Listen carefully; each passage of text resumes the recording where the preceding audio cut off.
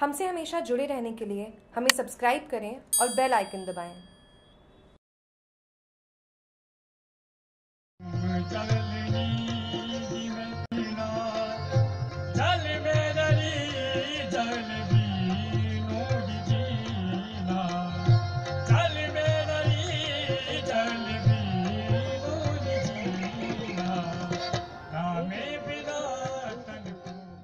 सुबह आकर्षक जुगलबंदी तो दोपहर में हुआ belly dance Mehrangarh museum trust और जयपुर विरासत फाउंडेशन की साझा मेजबानी में यूनेस्को की सहायता से पाँच दिवसीय Rajasthan international folk festival RIFF, के चौथे दिन शनिवार को कलाकारों की जुगलबंदी ने देसी विदेशी पर्यटकों का मन मोह लिया। रिफ के तहत शनिवार सुबह जसवंत थड़ा पर सीर के सूर में सुरनाई पर पेपा खान ने आकर्षक कमायचा और सारंगी वादक दर्रे खान, असिन खान, तलब और फिरोज के साथ जुगलबंदी की प्रस्तुति दी।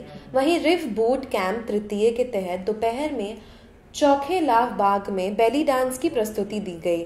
फोर्ट फेस्टिव के तहत यहाँ जोधपुर, बाड़मेर, चुरू, शेखावाटी, मेवाड़ हनुमानगढ़ के लोक कलाकारों ने प्रस्तुतियाँ दी।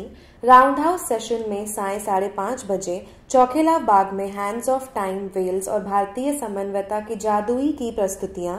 मुख्य स्टेज में इनसाइट्स के तहत हिंदुस्तान की प्रसिद्ध शास्त्रीय गायिका शुभा मुदगुल द्वारा बारामासा के साथ कई आकर्षक प्रस्तुतियाँ होगी।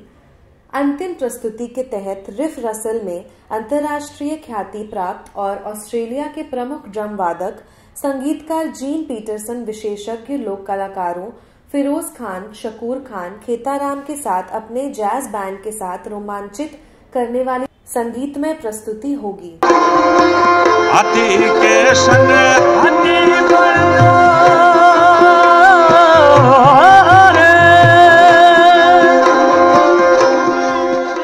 जोधपुर से जागरूक टीवी की रिपोर्ट।